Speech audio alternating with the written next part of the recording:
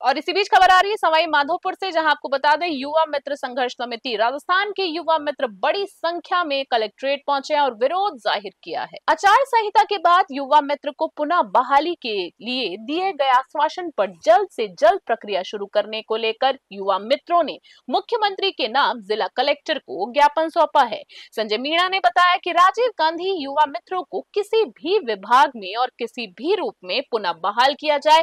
दर्ज किए गए मुकदमों मांगों को खारिज किया जाए। साथ ही राजीव गांधी युवा मित्रों को संविदा केंद्र या नियमितीकरण किया जाए। मानदेय में बढ़ोतरी की जाए, युवा मित्रों की भविष्य नीति तय की जाए। साथ ही इन सब मांगों को लेकर ज्ञापन सौंपा गया। युवा मित्रों की भविष्य निधि तय की जाए। इन सभी मांगों को लेकर ज्ञापन सौंपा गया। सवाई माधोपुर से लोकेश टटवाल की रिपोर्ट। ये राजीव गांधी युवा मित्र संघर्ष समिति की ओर से सभी जिला कलेक्टरों को राजस्थान भर में ज्ञापन दिया जा रहा है। 18 महीने राजस्थान की सरकार के अंडर युवाओं ने इंटर्नशिप के नाम पे कार्यक्रम किया।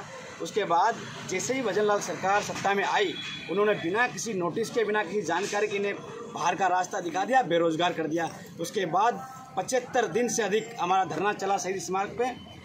हमारे युवा टंकी पर चढ़े गए, आत्मदाह का प्रयास भी किया गया, लेकिन प्रशासन और सरकार की सहमति से इन्होंने अपना प्लान कैंसिल किया, नीचे आ गए और ये सहमति बनी कि आचार संहिता हटने के बाद आपसे सकारात्मक वार्ता करके आपको पुनः बहाल कर दिया जाएगा। लेकिन सरकार की ये मंशा अब ये दिख रही है कि सरकार इस मूड में नहीं है और इन युवाओं को बेरोजगारी के दलदल में धकेल रही है।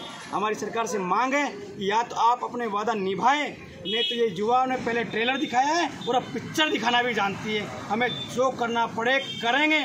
राजस्थान लगभग राजस्थान कितने ऐसे युवा बेरोजगार हैं जो उनको सरकार ने पाँच हज़ार युवाओं को बेरोजगार किया है सरकार ने जिन्होंने सरकार के अंधविश्वास में काम किया है कि इंटर्नशिप के बाद ही हमें स्थायी रोज़गार देंगे।